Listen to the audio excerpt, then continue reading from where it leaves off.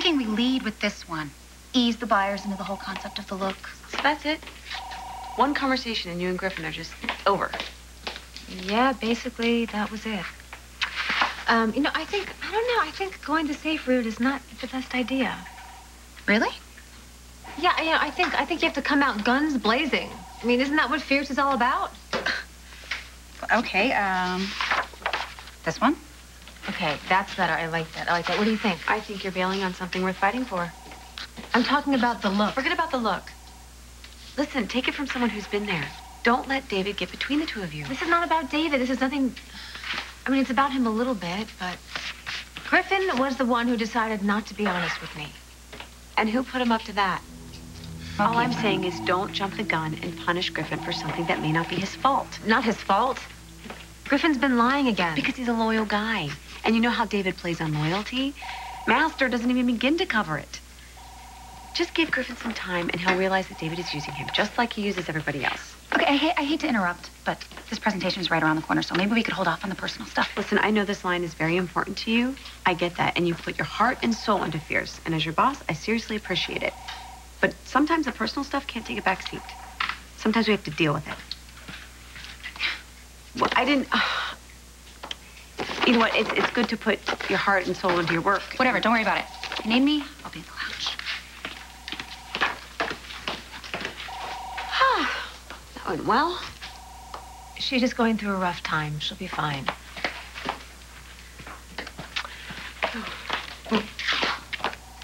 Where are you going? To see David. At the hospital, he needs to believe I'm having a relapse, right? This is me, being convincing.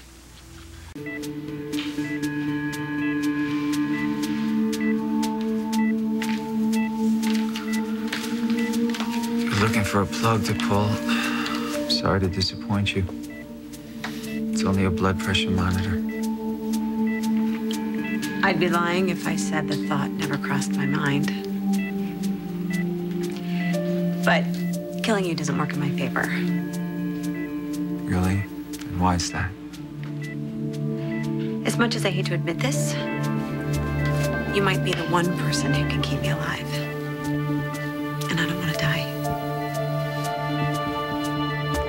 The numbness is getting worse. In what respect? Less feeling, more frequent? Both. You know I wouldn't be here if it wasn't scaring the hell out of me.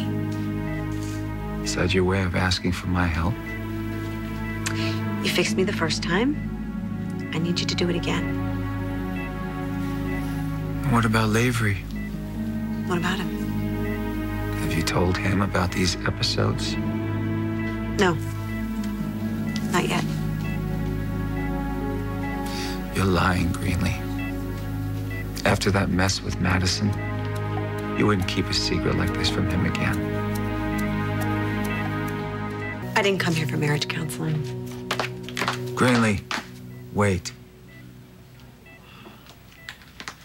You can't blame me for being skeptical. It wasn't too long ago you'd spit on my shadow if it crossed your path. Wouldn't count that out moving forward. I just find it hard to believe that you would keep something this big from Ryan. He's been through so much. First Emma and then the baby. The last thing I want is to cause him more stress. And if I'm acting as your physician, Stress. Not to mention the fact that we don't know what we're dealing with yet. Something is obviously going on with me. But is it temporary? Am I regressing? And if I am, what does that mean? there's no way for me to know. Paralysis? Worse? I mean, I don't, I don't want to worry Ryan until I know for sure. right, look, I wish I could ease your mind, but without a proper examination, without tests. Well, you must be able to tell me something. A hunch, maybe? I mean, maybe it's connected to you healing me the first time around. I mean, I was so relieved to be alive, I never even asked any questions, but. Did you save my life knowing that it wouldn't last?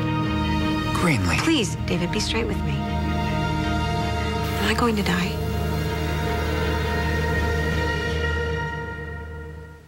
You're not gonna die How do you know?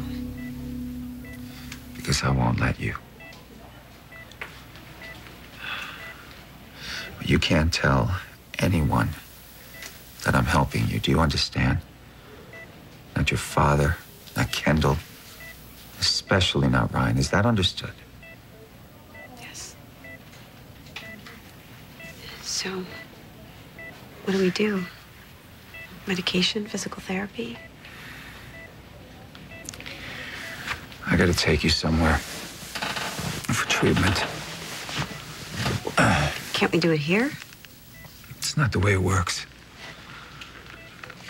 David, I need my rest. I'll be in touch.